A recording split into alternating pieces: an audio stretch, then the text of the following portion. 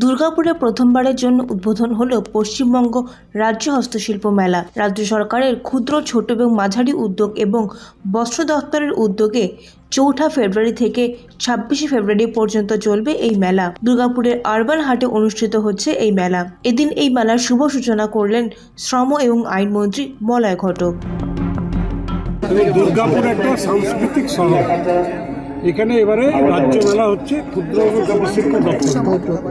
এবং এত সুন্দর সুন্দর জিনিসপত্র এখানে বিপণন হচ্ছে। পশ্চিমবঙ্গের বিভিন্ন জেলার যারা আর্টিসিয়ান তারা সব তাদের জিনিসপত্র নিয়ে এসেছে। আশা করি এখানে ভালো তারা বিক্রি করতে পারবে। আমি উদাহরণস্বরূপ বললাম যে গত কয়েক বছর ধরে আসানসোল এবং বর্ধমানে এই মেলাগুলো হয়েছে।